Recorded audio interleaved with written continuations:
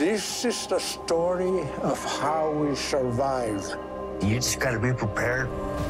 You didn't read a book on native ways. The raven was the creation in our culture. It was just you and Mother Nature. Subsistence is our way of life. We've been living like this for thousands of years. We're still here and we're fighting for it. A brand new series. First Alaskans. Starts 18th July on National Geographic.